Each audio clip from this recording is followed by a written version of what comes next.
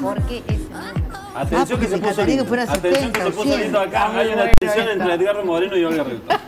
Dice Edgardo Moreno que usted quiere discutir, Olga, la idea y no el proyecto. Y me parece interesante que el proyecto hay que discutirlo si es que hay aspectos que nos cierran. No, porque él me- él- la- las medias. No, él lo que me plantea es que por qué el 50, y, y yo digo, ¿y por qué no el 70? Si ya el 30 costó mucho, el 50 una barbaridad, imagínate que pus- propusiéramos el 70. Yo por mí propondría el 100. Ahora, ¿cuál es? el- No, porque yo estoy convencida que el día que hay igualdad de A ver, pero ¿por qué oportunidades, esta ley 100? hay que derogarla. ¿Por qué porque va a ser 100? natural Claro, que las claro. mujeres lleguen. Es que no se puede tratar una discriminación con tanta liviandad.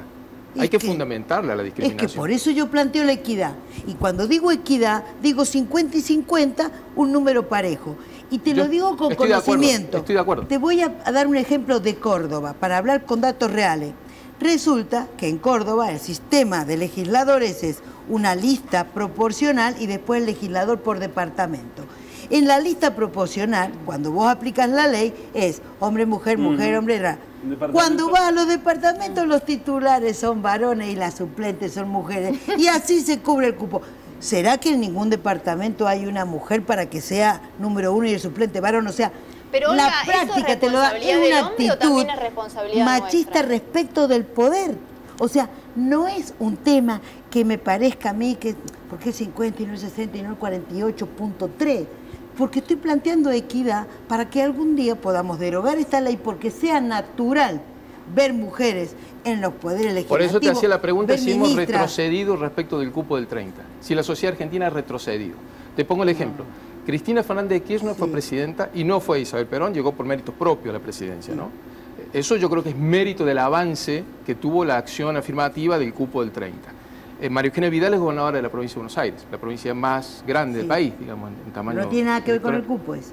No tiene que ver con pero sí tiene que ver con el Con el cambio avance, cultural que el cupo. Claro, pero hay impulsó. cinco gobernadoras, Perdón, cinco perdón. en total. Déjame terminar el sí. argumento. Sí, a ver, ¿qué no Lo que digo es esto, que me hubiese gustado ver en el Congreso un debate mucho más sólido, más fundamentado respecto de cómo se instrumenta la, discrimina- la discriminación positiva, con qué términos, o sea, si tiene un, un plazo temporal establece- que se pueda establecer, ¿eh? y cómo se, se evalúa la experiencia pasada respecto del cupo del 30. Porque si no discutimos solamente el consenso general de la idea y el que se opone a, a una ob- objeción del proyecto es estilado de machista, No, yo te entendí. cosa yo, que estoy- es erróneo. yo creo que es un avance respecto del 30. Y esto va a posibilitar más voces femeninas para demostrar e ir avanzando en el cambio de la pauta cultural. Cuando uno habla de pauta ¿Querés que te ponga un cultural, ejemplo de no hay fecha de Te pongo un ejemplo vencimiento. de lo desprolijo que fue el debate. Esta idea no estaba en, la- en el proyecto de reforma. La reforma era solamente el instrumento del voto.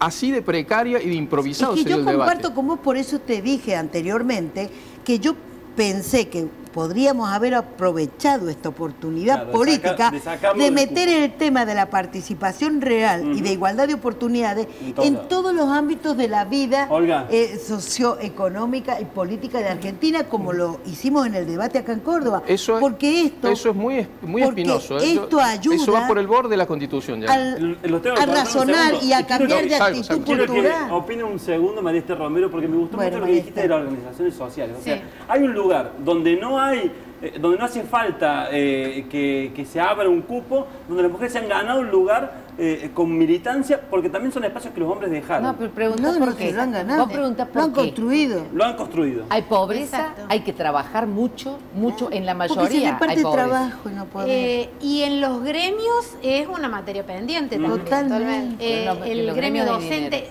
Hay dos ejemplos de mujeres que se han ganado espacios importantes. Una Irina Santesteban, Ujú. otra Hilda Bustos, en el Claro. gremio de gráficos. Sí. La Bueno, mayoría En el hombres. CISPREN siempre cultura y algo más. Y el CISPREN estuve con algunas mujeres que eh, ocupan las secretarías periféricas, ¿cómo les cuesta llegar? Y le preguntaba recién a Edgardo, en las redacciones lo de los diarios, Sí. ¿hay jefes? No. Mujeres. Jefas. Y lo que ha Jefas. costado en los SRT Hay que haya una mujer y un hombre en, los- en las conducciones de la, de la crónica también. Y también un montón. Eh, eh, la verdad es que es interesante. Y, me- y me da pie para la última pregunta Sí. y les pido una respuesta breve a cada una. Eh, ¿Cuánto les ha costado a ustedes llegar a donde están? porque les ha costado. Eh, y, y ha habido gente que ha puesto mucha energía para que ustedes no sigan o no lleguen. Suspiraron, vos sabés. Hiciste la pregunta y suspiraron. A mí personalmente muchísimo, porque eh, yo para poder ser presidenta de un partido por el voto directo, tuvimos que armar las mujeres una organización tan grande el número que el que no arreglaba con nosotros no ganaba la elección partidaria. Pero, a ver, un esfuerzo, pero terrible. Y en esa época que te hablo, había listas en los hombres que no sabían firmar y le hacían poner el dedo Claro. y a las mujeres a ver si tenían título universitario. O sea, yo he vivido en la política todas esas etapas y otras que no las puedo contar acá, pero eh, que no son muy halagüeñas desde el punto de vista de los... Rebeca, vos, de a vos también te costó. Y, y- y me parece que el género también tuvo que ver con eso. He sido paciente.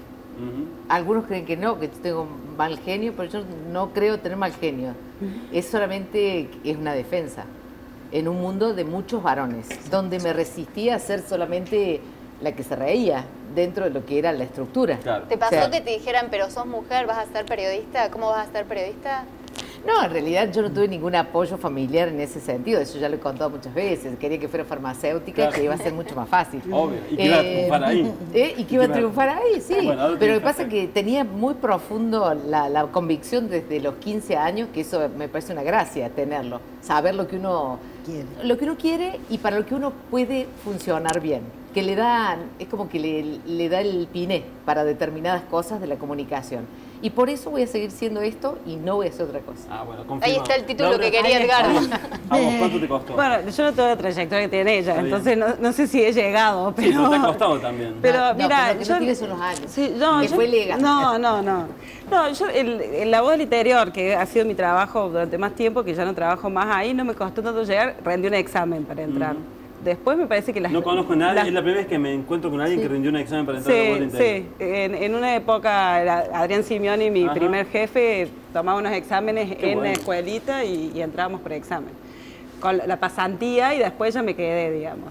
Después me parece que Edgardo puede decir mejor que yo. No, hay, no, no sé si es tan fácil No, no, yo- crecer en la yo- voz del interior Yo como sostengo mujer. que en la sociedad en general, Como- quiero como dejar en en claro esta general, posición. ¿no? En la sociedad en general, le reitero, está el techo de cristal Sí. y es un problema grave de Sí. desigualdad social. Lo que estamos planteando son tres niveles ¿eh? de, eh, de- de debate. Uno es el valor de la igualdad de géneros, yo coincido. El segundo es el consenso de la necesidad de una acción afirmativa, es decir, de una discriminación positiva por ley para que eso se mejore, también coincido. Y el proyecto que se está debatiendo en el Congreso, que es otro nivel, con el cual también coincido, pero no con el trámite que se le dio. Bueno, no, perdóname. No, una sola ir, cosa. dale. Lo que no te mata te fortalece. Y eso nos hizo mucho más fuertes, más resistentes. Somos como las cu- cucarachas. Bueno, pero Nunca vamos a dejar de fortaleza, quizá con esa sea el momento de hacer valer el cupo para que eh, eso sirva y no haya otras que tengan que luchar tanto y puedan dedicarse a eh, eh, trascender Y, y otra por cosa, yo he tenido muy buenos mentores varones. Ajá. He laburado como negra también. O sea, perdón, Sí, he sí, laburado sí. mucho.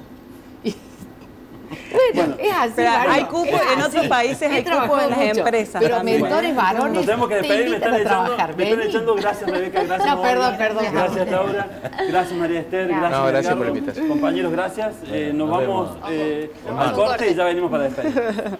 Ah, pero tienes despedida.